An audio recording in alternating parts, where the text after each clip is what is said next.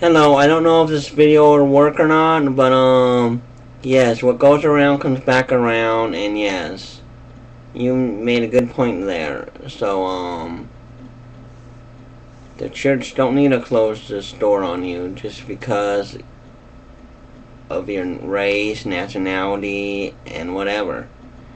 Okay, um, talk to you later.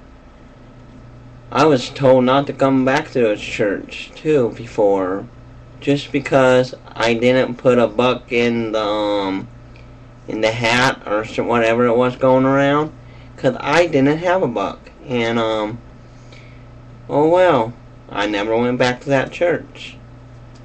They expected me to pay a buck to listen to the preacher talk, and um, it was a good preacher and everything, but um, they had a fit when I didn't have a buck.